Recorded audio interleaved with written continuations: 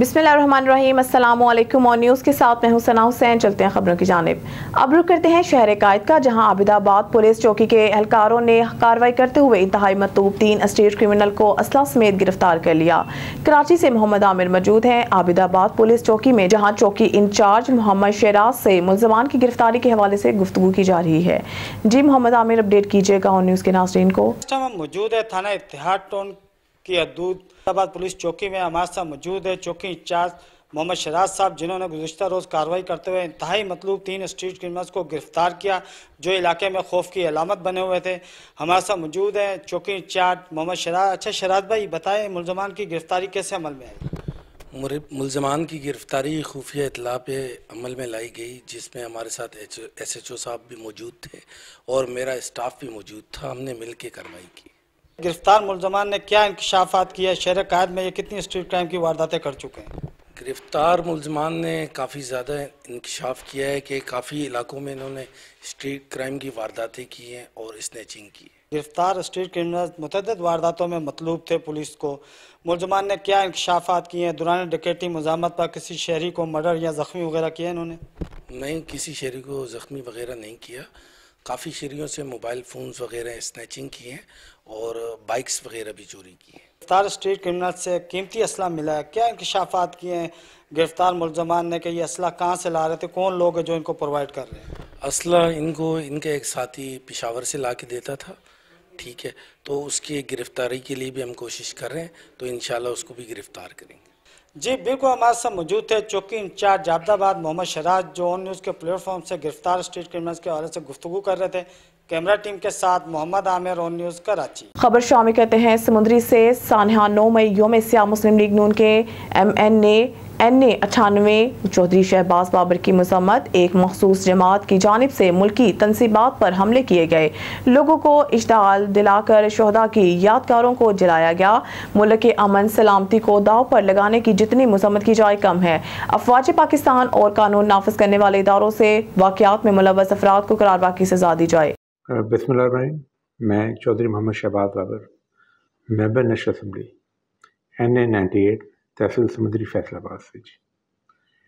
نو مئی، ہماری پوری قوم کے لیے، ہماری پوری سیاسی جماعتوں کے لیے، ایک سیاسی سوچ کے لیے ایک بہت ہی، میں کہوں گا، سیاہ دن ہے۔ جس دن ایک سیاسی جماعت نے اپنے مفاد کے لیے، اپنے پولیٹیکل عزائم کی خاطر، اپنی یعنی کہ اقتار کی خاطر انہوں نے ہمارا پاکستان کے وہ ادارے، چاہے فوجی ہوں، چاہے سول، باقی پولیس والے ہیں، باقی جو بھی ادارے ہیں ہمارے، ان سب کے اوپر انہوں نے جا کے حملے کیے۔ ہیں ہمارے یعنی کہ ان اداروں پہ حملے کیے ہیں جو کہ پورے اس ملک کے لیے، اس قوم کے لیے، اس دھرتی کے لیے جنہوں نے قربانیاں دی ہیں۔ جن کی قربانیوں کی لا بے تحاشا مثالیں ہیں۔ چاہے انیس سو پینسٹھ کی وار ہو، چاہے اکہتر کی وار ہو، چاہے جو مرضی ہو، کارگل کی وار ہو، جو مرضی، ادوار ہے، ہماری فوج نے ہمیشہ آگے آئی ہے، اس نے آ کے گوجہ میں مہندی شاہ بازار، مین قائد اعظم روڈ چوک میں لگا ہوا خود ساختہ رکشہ سٹینڈ دکانداروں اور شہریوں کے لیے درد سر بن گیا۔ شہری پریشان اعلی افسران سے نوٹس کا مطالبہ دیکھتے ہیں۔ ہمارے بیورو چیف محمد ناصر صدیق کی رپورٹ۔ گوجرہ میں مہندی شاہ بازار چوک قائد اعظم روڈ پر لگا ہوا غیر قانونی رکشہ سٹینڈ شہریوں کے لیے درد سر بن گیا۔ رکشہ سٹینڈ کی وجہ سے دکانداروں اور پیدل چلنے والے افراد کو شدید مشکلات کا سامنا۔ شہریوں نے میڈیا سے گفتگو کرتے ہوئے کہا کہ مقامی انتظامیہ کو چاہیے کہ یہاں سے رکشہ سٹینڈ کو فوری طور پر ختم کروایا جائے تاکہ پیدل چلنے والے افراد اور دکانداروں کی مشکلات ختم ہو سکے۔ شہریوں کا اس حوالہ سے مزید کہنا تھا۔ بسم اللہ الرحمن الرحیم اس وقت مہدی شاہ چوک میں کھڑا ہوں۔ مہدی شاہ چوک اس وقت سب سے مصروف ترین چوک ہے اور رکشہ اسٹینڈ کی وجہ سے یہاں پہ بہت زیادہ رش ہے۔ اسکول کے بچے اور ہاسپٹل یہاں پہ سارا کچھ ہے، لیکن ان میں مریضوں کا گزرنا مشکل ہوا ہے۔ یہاں پہ ٹریفک بلاک ہو جاتی ہے۔ آپ دیکھ سکتے ہیں ہر چیز انتظامیہ کو اس کا نوٹس لینا چاہیے کہ اس کو فل فور ختم کیا جائے اور یہ جو انہوں نے بیریئر لگایا ہے، اس کو آگے لے کے جائیں یا ختم کریں یہ لوگوں کے لیے مشکلات کا سامنا کرنا۔ کیمرہ مین آصف کے ساتھ محمد ناصر صدیق، آن نیوز ٹوبا ٹیک سنگھ۔ خبر شامل کرتے ہیں ٹوکری سے اون نیوز کے نمائندے عامر چانیو کی رپورٹ کے مطابق باڑا شہر کے قریب تین ڈاکوں نے نوجوان سے لوڈر رکشہ چھین لیا۔ باڑا کے سہانی سڑک پر بنہر شاہ کے قریب موٹر سائیکل سوار تین ڈاکو نے باڑا کے رہائشی نوجوان عبدالوہاب روحی کو یرگمال بنا لیا اور لوڈر رکشہ چین کر فرار ہو گئے۔ مزاحمت کرنے پر ڈاکو نے نوجوان کو رسیوں سے باندھ کر شدید تشدد کا نشانہ بنایا اور بے ہوشی کی حالت میں چھوڑ کر فرار ہو گئے۔ واقعے کے بعد زخمی ڈرائیور کو بے ہوشی کی حالت میں تھانہ باڑا لایا گیا، جہاں پر زخمی کو میڈیکل لیٹر دے کر علاج کے لیے ہسپتال بھیجا گیا۔ دوسری جانب، تھانہ بھاڑا کی پولیس نے واقعے کے این سی درج کر دی ہے۔ آخری اطلاعات تک کوئی بھی گرفتاری عمل میں نہیں لائی گئی۔ اور شامی کہتے ہیں۔ سمندری سے سانحہ نو مئی مارکیٹ کمیٹی گلا منڈی سے لے کر میونسپل کمیٹی ہال تک بڑی ریلی نکالی گئی۔ ریلی میں Zohaib Akram chairman, crime control Pakistan human rights نے خصوصی طور پر شرکت کی۔ ریلی میں Punjab police, warden police, rescue ڈھول one double two, civil defence, انجمن تاجوان بلدیہ کا عملہ وابٹا کے عملے سمیت اہل علاقہ نے کثیر تعداد میں شرکت کی۔ ریلی کے شرکا نے سانحہ نو مئی کے پلے کارڈز اور فلیکسز بھی اٹھا رکھے تھے۔ ریلی میں پاکستان زندہ باد، پاک زندہ باد کے نعرے بھی لگائے گئے کی قیادت S P Shams Ulhaq Durrani D S P Asif Khan assistant commissioner Salman Mansha سابقہ چیئرمین مارکیٹ کمیٹی حاجی محمد اسلم گجر چودھری امار اسلم اور چودھری عمر اسلم نے کی ایک سیاسی جماعت کی جانب سے ملکی تنصیبات پر حملے کیے گئے، شہداء کی یادگاروں کو جلایا گیا اور توڑ پھوڑ کی گئی۔ سابقہ چیئرمین مارکیٹ حاجی محمد اسلم گجر نے میڈیا سے گفتگو کرتے ہوئے کہا کہ ہم پاک فوج کے شانہ بشانہ کھڑے ہیں، پاک فوج ہمارے سر کا جھومر ہے، ہم نو مئی سانحہ کی شدید الفاظ میں مذمت کرتے ہیں۔ سابقہ چیئرمین مارکیٹ کمیٹی سمندری حاجی محمد اسلم گجر۔ خبر شامل کرتے ہیں لیاقت پور سے ہمارے نمائندے طارق محمود شاد کی اس رپورٹ میں لیاقت پور تحصیل ہیڈ کوارٹرز اسپتال میں سیکیورٹی پر تعینات۔ مرد خواتین سطح سیکیورٹی گارڈز کو گزشتہ تین ماہ سے تنخواہیں فراہم نہیں کی جا رہی ہیں، جس کے باعث گھروں کا حال فاقہ کشی تک پہنچ چکا ہے۔ سیکیورٹی عملہ نے احتجاج کرتے ہوئے بتایا ہے کہ مہنگائی پچیس ہزار روپے ماہانہ تنخواہ دی جاتی ہے، جس میں وہ مشکل گزارا ہوتا ہے۔ گزشتہ تین ماہ سے تنخواہیں فراہم نہیں کی جا رہی۔ سودا سلف لینے کے لیے ادھار بھی ملنا بند ہو چکا ہے۔ انہوں نے کہا کہ سیکٹری ہیلتھ اور سی ای او ہیلتھ فوری طور پر نوٹس لے، تنخواہیں فراہم کرے مطالبات پورے نہ ہونے پر اہل حیات سمیت سڑکوں پر آ جائیں گے۔ اور ہم تمام غریب لوگ ہیں اور ہمارا گزارا انہی تنخواہوں پہ ہے۔ مگر اب ہم کیا کریں کہ ہم اپنے بچوں کو کہاں لے کر جائیں؟ ہماری ابھی حالت جو ہے فاقہ کشی کی پہنچ چکی ہے۔ اور ہمارے جو ادھار دینے والے تھے وہ بھی ہم پہ اعتبار نہیں کرتے یار آپ تو ہمیں پیسے نہیں دیتے ہر دفعہ لارا لگاتی ہو کہ مہینے کے بعد تنخواہ آ جائے گی ہم دیں گے۔ اب ہم کدھر جائیں؟ ہماری اللہ حکام سے یہ مطالبہ ہے کہ جو جو ہمارے اس اس میں جو اپنا کردار ادا کر سکتے ہیں ان سے ہمارا مطالبہ ہے کہ وہ ہمارے اس پہ رحم کرم کریں کیونکہ ہم غریب لوگ ہیں ہم کہاں جائیں؟ بس۔ جتنے بھی ہیں ہم اپنے جی جی بھی سپورٹ گارڈ گارڈ ہیں۔ ہمیں تین مہینوں کی سیلری نہیں ملی۔ اگر نہیں ملتی تو بچوں سمیت ہم روڈ پہ بیٹھ جائیں گے۔ دوسری ہماری ریکویسٹ یہ ہے کہ ہم دوسری جیوی وہ کہہ رہے ہیں برتھی کریں گے۔ ان کو ہم نہیں آنے دیں گے جتنے تک ہمیں کلیئر نہیں کرتی جی۔ گھوٹ کی وفاقی حکومت کی جانب سے سہرائے تھر کو سیراب کرنے کے لیے بیس ارب کی لاگت سے بنایا گیا۔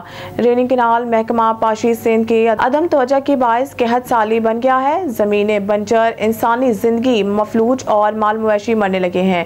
اسی پر رپورٹ کرے ہیں آن نیوز کے نمائندہ علی رضا سومرو۔ وفاقی حکومت کی جانب سے سندھ کے صحرائے تھر کو سیراب کرنے کے لیے پہلا سب سے بڑا منصوبہ دو ہزار پانچ میں ساٹھ ارب کی لاگت سے سے رینی کنال بنایا گیا، جو کہ خوشک سالی کا نشان بن گیا۔ محکمہ پاشی سندھ کی جانب سے عدم توجہ کے باعث گڑو بیرات سے پانی نہیں چھوڑا جا رہا، جس کی وجہ سے زلہ گھوٹ کی سہرہ علاقے کی زمینیں بنجر۔ انسانی زندگی مفلوج اور مال مویشی مرنے لگے ہیں۔ علاقہ مکینوں کا کہنا ہے کہ پینے کا میٹھا پانی تک میسر نہیں، جس کی وجہ سے بیماریوں نے بھی گھر کر لیا ہے۔ علاقہ مکینوں کا کہنا ہے کہ اگر وقت پر پانی نہ ملا تو کپاس گیہو چاول اور گنے کی فصل بھی کاش نہیں ہو سکے گی، جس کی وجہ وجہ سے ملکی معیشت کو بھی بڑا نقصان پہنچ سکتا ہے۔ انہوں نے سندھ حکومت سے مطالبہ کیا ہے کہ رینی کنال میں پانی چھوڑا جائے تاکہ پھر سے سہر آئے تھا۔ زندگی کھل اٹھے۔ کیمرہ ٹیم کے ساتھ علی رضا سومرو آن نیوز ڈہر کی دور سے تو بنا، بنایا گیا ہے، بیس ہزار ملین کی لاگت سے، لیکن اس میں پانی نہیں دیا گیا۔ تو یہ ہمیشہ ہم اس اس کے لیے احتجاج کرتے ہیں دس دن، پندرہ دن پانی دیا جاتا ہے، پھر بند کر دیا جاتا ہے۔ تو ابھی حالات یہ ہیں کہ یہاں پر قید سا لیا گئی ہے پرندے مر رہے ہیں، مویشی مر رہے ہیں۔ ہماری گزارش یہ سیکریٹری ایریگیشن سندھ سے ڈی سی گھوٹکی سے کہ ہمیں پانی دیا جائے اس میں دو سو کیوسک سے لے کر پانچ سو کیوسک تک، تاکہ یہاں پر ہمارا جر کا پانی جس کی وجہ سے بیماریاں جو رونما ہو رہی ہیں، اس سے ہم بچ سکیں اور ہمارا تھر جو ہے وہ اس کے مویشی بچ سکیں، اس کے پرندے بچ سکیں۔ سما ٹی وی کے ہم بہت زیادہ شکر ادا کر، شکریہ ادا کرتے ہیں۔ وہ ہمارا آواز بنائے اور ہم گزارش کرتے ہیں آپ کے توسط سے سیکریٹری ایریگیشن سندھ سے کہ ہمیں دو سو کیوسک پانی دیا جائے۔ بھائی جان، یہ ہمارا دو ہزار پانچ میں تقریباً یہ اس کا کام اسٹارٹ ہوا تھا رینی کینال کا مشرف دور میں۔ تو یہ تقریباً ساٹھ ارب کی لاگت سے ہمارا جو قوم کا پیسہ ہے، یہ ضائع ہو چکا ہے، یہ بنایا ہے۔ بنایا تو ہے، دو ہزار پانچ سے ابھی تک اس میں کوئی پانی انہوں نے چھوڑا نہیں ہے۔ تو ہماری یہی گزارش ہے کہ جب اس کو آپ نے بنایا، اتنا آپ نے قوم کا پیسہ ضائع کیا ہے تو آپ اس کو چلائیں بھی تو صحیح۔ ابھی ہمارے ہاں یہ سچویشن بنی ہوئی ہے کہ ہمارے ہاں پورے پنجاب کا جو ہے، سیم کا پانی آتا ہے، ہمارے ایریا میں ادھر ڈیم بنا ہوا ہے۔ وہ پانی ہمارا جر کا جو ہے بالکل کڑوا ہو چکا ہے، اس سے بیماریاں پیدا ہو رہی ہیں، ہمارے مویشی مر رہے ہیں، ہمارے پرندے مر رہے ہیں، ہمارے بچے مر رہے ہیں، کینسر جیسی اور ہیپاٹائٹس جیسی بیماریاں ادھر پھیل چکی ہیں۔ تو لہٰذا ہماری اعلیٰ اختیاروں سے گزارش ہے کہ جب آپ نے یہ ایک چیز بنائی ہے تو پلیز مہربانی کریں ہمیں اس میں پانی دیں تاکہ ہمارا جو زندگی کا گزر سب بسر ہے وہ اچھا ہو جائے۔ اور ہم سی ایم سندھ سے، وزیر اعلیٰ وزیر اعلیٰ سندھ سے اور پرائم منسٹر آف پاکستان سے، چیف جسٹس آف پاکستان سے گزارش کرتے ہیں کہ ہمیں برائے مہربانی اس میں پانی دیا جائے تاکہ ہمارے جو بچے ہیں آگے کا گزر سفر ہے وہ اچھا ہو جائے۔ اور ہم سما کے بھی بہت شکر گزار ہیں جو ہماری انہوں بات سنی، آواز بنی، بڑی مہربانی۔ تھینک یو شامی کرتے اسلام آباد سے ملک ندیم کی رپورٹ کے مطابق عدالتی کاموں میں ایجنسی کی مبینہ مداخلت کو روکنے کے لیے متحد ہونے کے بجائے عدالت عظمہ میں گزشتہ تین سماعتوں میں ڈویژن نے سب سے زیادہ راج کیا ہے۔ یہ سب سپریم جوڈیشل کونسل کی میز پر اسلام آباد ہائی کورٹ کے چھ ججوں کی طرف سے ایک خط کی آمد کے ساتھ شروع ہوا، جس میں عدلیہ کے درمیان خرابی کی لکیروں کو بے نقاب کیا گیا اور ججوں کو اس مسئلے کو حل کرنے کے بہترین طریقے پر اختلاف پایا گیا۔ رپورٹس بتاتی ہیں کہ فل کورٹ میٹنگ کے دوران بھی آئی ایچ سی کے چھ ججوں کی طرف سے لگائے کے الزامات کی تحقیقات کے لیے ایک انکوائری کمیشن کی تشکیل پر جسٹس تقسیم ہو گئے تھے۔ سابق چیف جسٹس تصدق حسین جلانی کے انکوائری کمیشن کی سربراہی سے دستبردار ہونے فیصلے نے chief justice of Pakistan Isa کی سربراہی میں تین ججوں پر مشتمل کمیٹی اس معاملے سے نمٹنا چھوڑ دیا۔ موٹ آئی ایچ سی کے ججوں کی طرف سے اٹھائے گئے الزامات کا جائزہ لینے کی کاروائی پہلی سماعت کے دوران بی جے پی عیسیٰ نے آئی ایس سی کے ججوں کے خط کے تناظر میں اپنے اقدام اقدامات کا سختی سے دفاع کیا، تاہم اختلاف نے اپنا سر جسٹس اتھر مین اللہ کے شکل میں اٹھایا، جنہوں نے لارجر بینچ کے جاری کردہ حکم پہ پہلے بارہ پیراگراف سے اختلاف کیا۔ شہباز رانا نو مئی دو ہزار چوبیس ملک ندیم کی رپورٹ کے مطابق انٹرنیشنل مونیٹری فنڈ نے پاکستان سے تنخواہ دار اور کاروباری افراد پر ٹیکس لگانے کا کہا ہے۔ پائی بین الاقوامی مالیاتی فنڈ نے پاکستان سے کہا کہ وہ تنخواہ دار افراد کی سب سے زیادہ قابل ٹیکس آمدنی کی حد کو کم کر کے تنخواہ دار اور کاروباری افراد پر ایک ہی آمدنی کی حد پر ٹیکس لگائے، جس کے نتیجے میں ماہانہ آمدنی پر پینتیس فیصد انکم ٹیکس وصول کرنا پڑے گا۔ تین لاکھ تینتیس ہزار روپے اس وقت کاروباری افراد سے تین لاکھ تینتیس ہزار روپے ماہانہ آمدنی پر پینتیس فیصد شرح وصول کی جاتی ہے، جبکہ تنخواہ دار افراد کی سب سے زیادہ ٹیکس کی شرح پانچ لاکھ روپے ماہانہ تنخواہ سے شروع ہوتی ہے۔ مالک ندیم کی رپورٹ کے مطابق نائب وزیر اعظم اور وزیر خارجہ اسحاق ڈار نے منگل کو زور دے کر کہا ہے کہ پاکستان ایک خود مختار قوم کے طور پر توانائی کی ضروریات کو پورا کرنے اور بین الاقوامی ذمہ داریوں کو پورا کرنے کے لیے اپنے بہترین مفاد میں فیصلے کرنے کے لیے پرعزم ہے۔ وزارت خارجہ میں منعقدہ پریس کانفرنس سے خطاب کرتے ہوئے نائب وزیر اعظم نے ایک سوال کا جواب دیتے ہوئے اس بات پر زور دیا کہ Iran Pakistan gas pipeline کے حوالے سے حکومتی اقدامات قومی مفادات کو ترجیح دیں گے اور کسی بھی بیرونی داخلت کو روکیں گے۔ ملک ندیم کی رپورٹ کے مطابق اسلام آباد ہائی کورٹ نے سابق وزیر اعظم عمران خان کی شریک حیات بشا بی بی کو بنی گالا سب جیل سے اڈیالہ جیل منتقل کرنے کا حکم دے دیا۔ آئی ایچ سی کے جسٹس میاں گل حسن اورنگزیب نے بشا بی بی کی جانب سے اڈیالہ جیل منتقل کرنے کی درخواست پر محفوظ کیا گیا، فیصلہ سنایا۔ جہاں ان کے شوہر اس وقت قید میں، کورٹ نے دو مئی کو دلائل سننے کے بعد فیصلہ محفوظ کر لیا تھا۔ سپریڈینٹنٹ جیل نے بتایا ہے کہ وہ بشا بی بی کو نہیں رکھ سکتے کیونکہ ایسے ہی زیادہ بھیڑ بھری ہوئی تھی۔ اور سیکیورٹی مسائل کی وجہ سے عدالت نے بشا بی بی کی رہائش کا بنی گالا کو سب جیل قرار دینے والے نوٹیفکیشن کو بھی کالعدم قرار دیا۔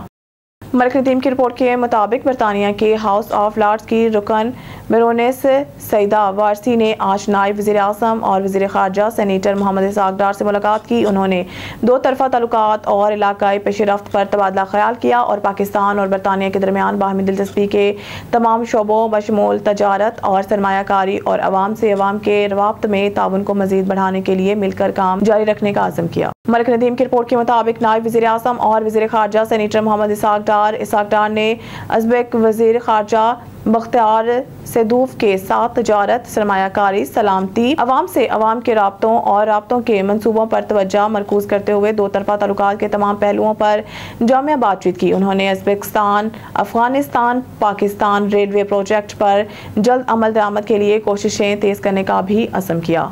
ملک ندیم کی رپورٹ کے مطابق F I A, cyber crime circle Rawalpindi کی بڑی کاروائی آن لائن مالی فراڈ میں ملوث ملزم گرفتار، ملزم خلت باری کو چھاپا مار کاروائی میں راولپنڈی سے گرفتار کیا گیا۔ ملزم نے آن لائن ویب سائٹ پر خود کو کار ڈیلر ظاہر کر کے جعلی اشتہارات لگاتا تھا۔ ملزم گاڑی فروخت کے اشتہارات لگاتے ہوئے شہریوں کو اپنے جال میں پھنساتا تھا۔